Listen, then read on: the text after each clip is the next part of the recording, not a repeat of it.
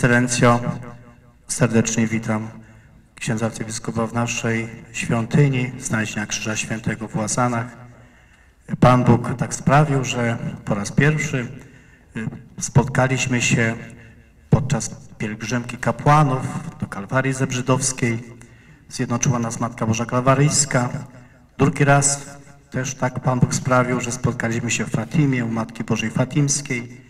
Bardzo się cieszę, że tak Bóg połączył nasze drogi, a dzisiaj witamy serdecznie w naszej świątyni i prosimy o udzielenie sakramentu bierzmowania naszej młodzieży, albowiem nasze życie jest pielgrzymką i w tym pielgrzymowaniu potrzeba nam bardzo dużo mądrości, roztropności, siły, odwagi, umiejętności pokonywania wszelkich trudności życiowych, aby dotrzeć do tego, co najważniejsze w życiu, do naszego zbawienia, do spotkania z Bogiem, do nieba. I potrzeba właśnie nam tych darów i proszę o udzielenie sakramentu bierzmowania, aby Duch Święty prowadził tą naszą młodzież drogami do zbawienia. Czcigodni i drodzy bracia w kapłaństwie, z księdzem kanonikiem proboszczem i księdzem prałatem ciekanem,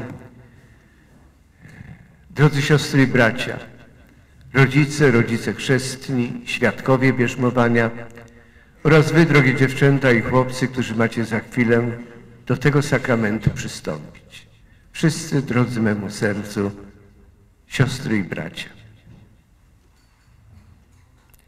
Te słowa, które słyszeliśmy przed chwilą w Ewangelii, wypowiedział Pan Jezus w momencie szczególnym i w chwili szczególnej i miejscu niezwykłym, bo był to wieczernik i chwila, kiedy Chrystus już przygotowywał się do początku swej męki. Ustanowił już Najświętszy Sakrament, sakrament kapłaństwa. Za chwilę miał z apostołami zejść do potoku Cedron, a potem nieco w górę do ogrodu Getsemani. Tam miała zacząć się jego męka. Ale między tą chwilą ustanowienia Najświętszego Sakramentu, a początkiem męki, nastąpi moment pożegnania. Wielka mowa i modlitwa arcykapłańska Chrystusa. I w tej mowie fragment znaczący, poświęcony temu, co się stanie. Pan Jezus, jak słyszeliśmy, mówił, kiedy to się stanie, to zrozumiecie, ja to zapowiedziałem. Tak będzie. Będziecie mieć dzięki temu kolejny argument, że jestem Bożym Synem, specjalnie posłanym od Boga po to, aby zbawić świat. Mówił, że idzie do Ojca. Idzie do Ojca szczególną drogą. Drogą cierpienia, męki, śmierci, zmartwychwstania. Wszystko to stanowi tajemnicę Jego paschy, czyli przejścia z tego świata do Ojca. Ale mówi, tak musi się stać. Muszę dojść do Ojca tą drogą po to, aby Ojciec zesłał na was Ducha Świętego, Ducha mocy, Ducha prawdy, tego, który przypomnił wam wszystko, co wam mówiłem i czego nauczałem. I wiemy, tak się stało. Była Pascha, czyli cierpienie, męka, śmierć. Było zmartwychwstanie. Było wstąpienie do nieba. A dziesięć dni po w niebo wstąpieniu, znowu w wieczerniku, gdzie są zgromadzeni apostołowie z, razem z Najświętszą Maryją Panną, stępuje na nich Duch Święty całkowicie przemienia ich serca. Dotąd zalęknieni, bojący się o własne życie, ciągle nierozumiejący po co to wszystko się stało, cała ta męka, śmierć i zmartwychwstanie. Naraz dzięki Duchowi Świętemu rozumieją. Więcej jeszcze. Ich serca są przeniknięte męstwem i odwagą. Ich umysły rozumem i umiejętnością nauczania.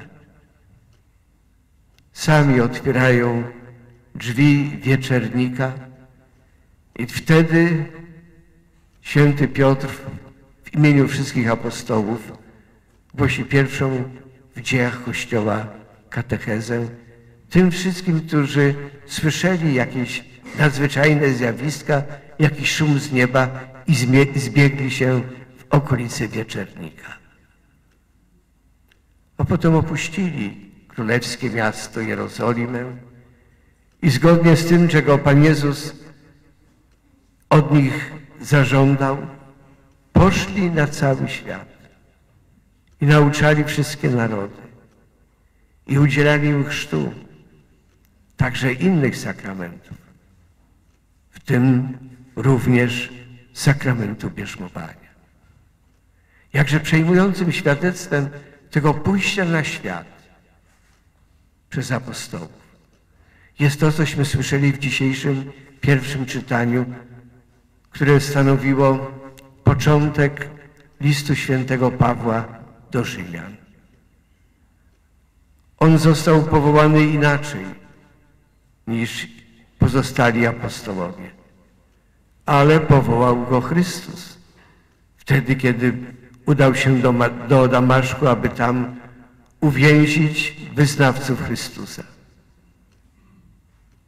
A będąc blisko miasta, pełen radości, że osiąga swój cel, naraz ogarnięty jest nadzwyczajną światłość, światłością, spada z konia i słyszy pytanie, Szawle, szawle, dlaczego mnie prześladujesz?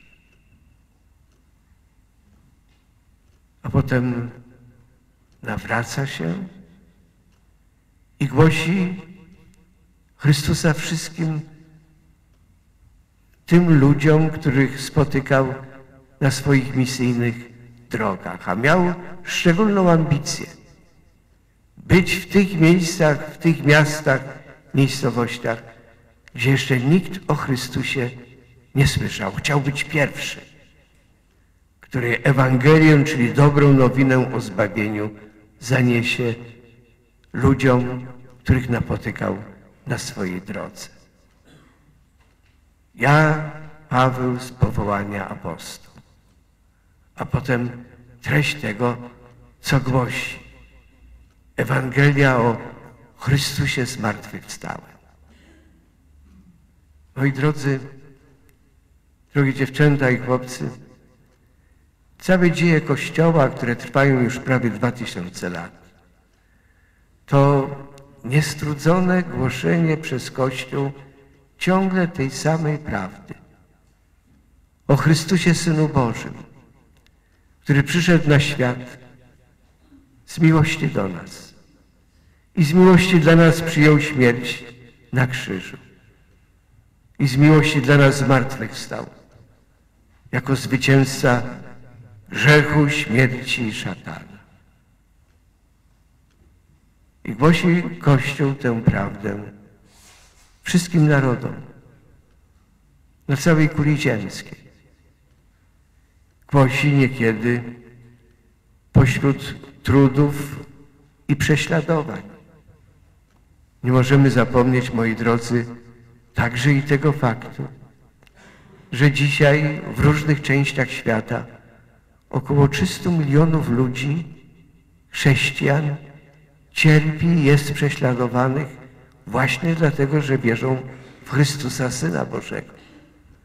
I że statystycznie rzecz biorąc, kilkunastu z nich dzisiaj dla Chrystusa odda swoje życie. Mówię to do Was, drogie dziewczęta i chłopcy. Boście powiedzieli, chcecie przyjąć sakrament bierzmowania, by móc mężnie wyznawać swoją chrześcijańską wiarę i według niej żyć. Są chrześcijanie na świecie. Jest ich bardzo wielu, którzy naprawdę mężnie wyznają tę chrześcijańską wiarę i według niej postępują. Mężnie, także z narażeniem własnego życia.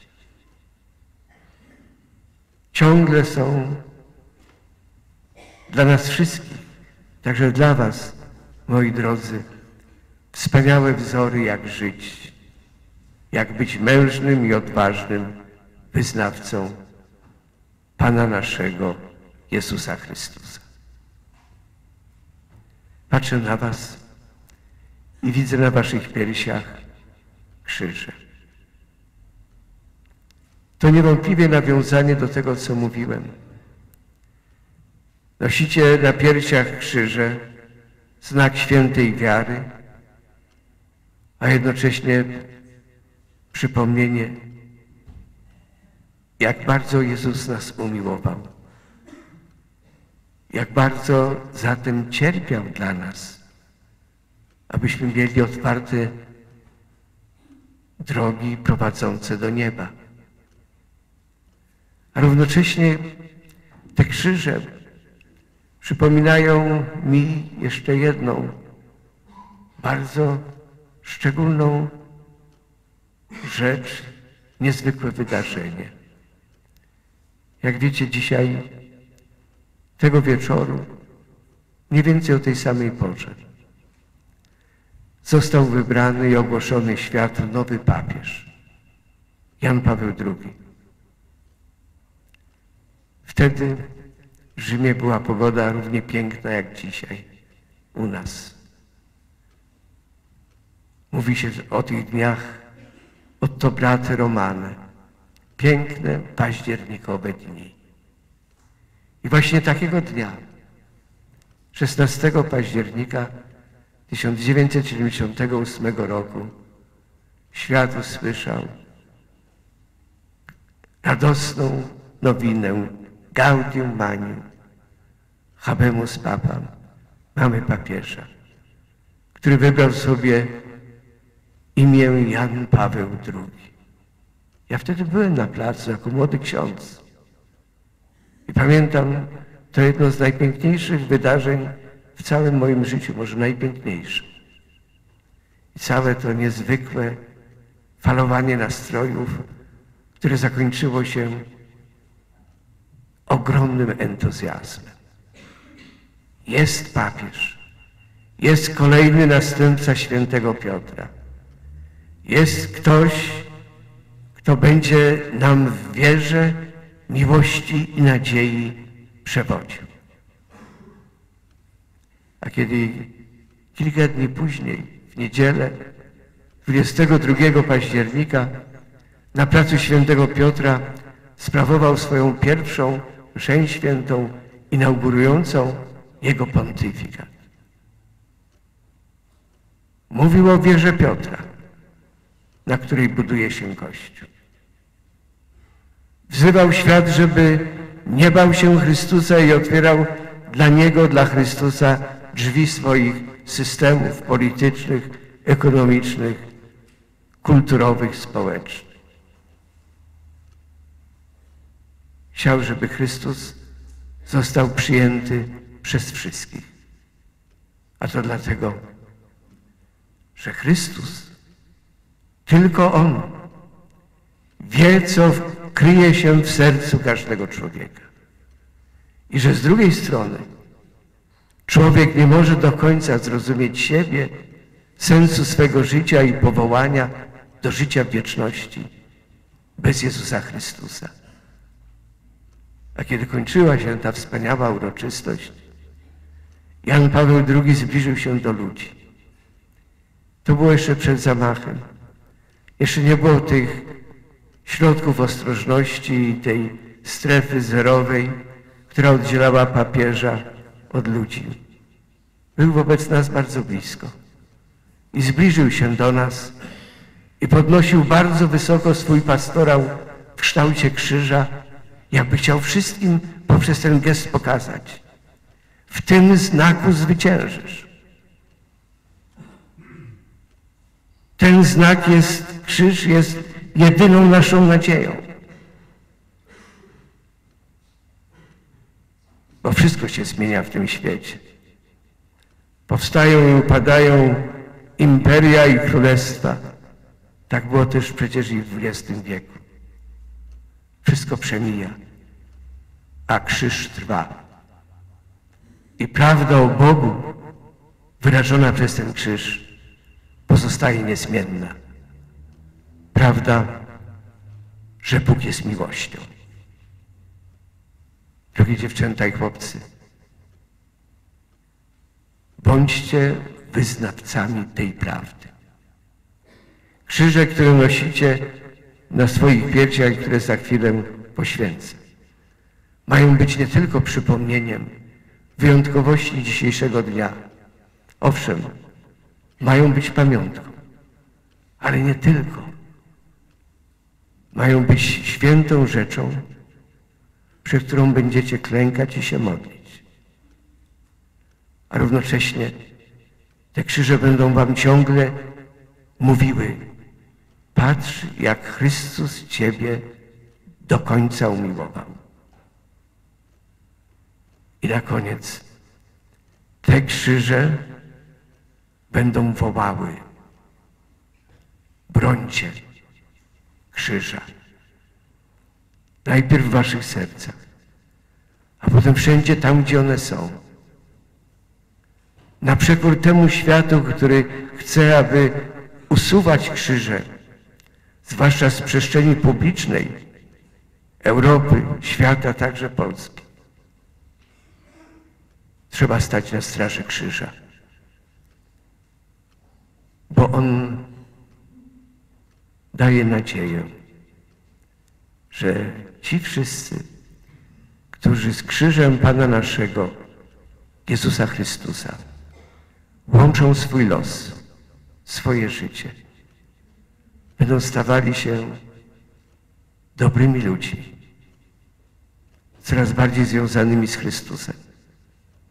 Mocą Ducha Świętego przemieniani w Chrystusa. Jak to było w życiu świętego Pawła. A jednocześnie dzięki takiemu życiu, takich ludzi, będzie się zmieniał świat na lepsze. I tego Wam, drogie dziewczęta i chłopcy, życzymy z całego serca. I o to także modlimy się podczas tej świętej liturgii w ten niezwykły dzień, 16 października, 39. rocznicę wyboru kardynała Wojtyły na papieża.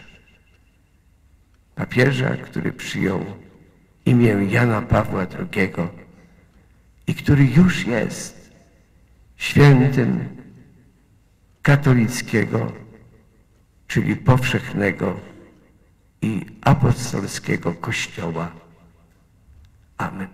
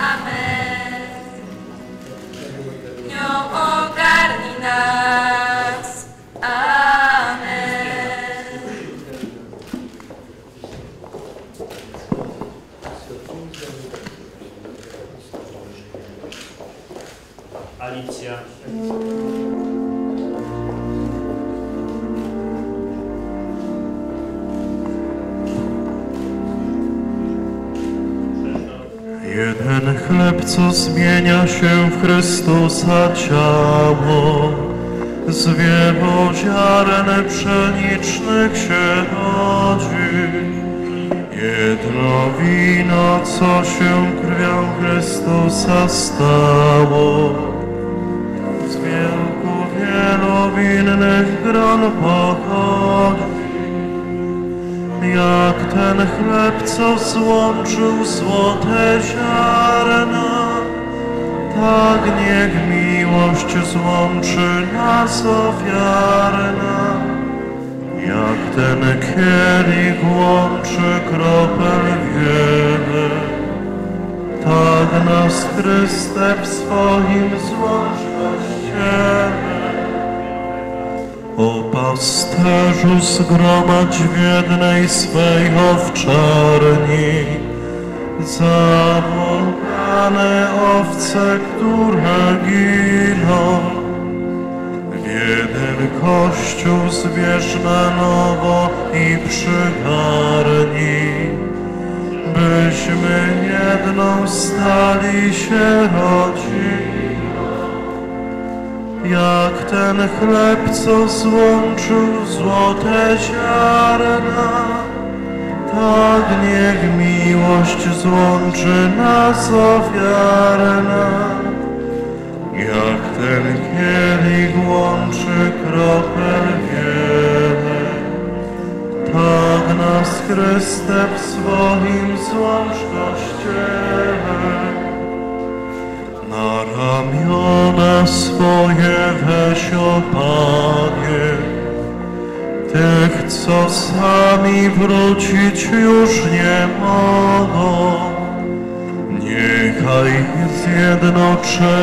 Cud się stanie, prowadź nas ku niebu wspólną drogą.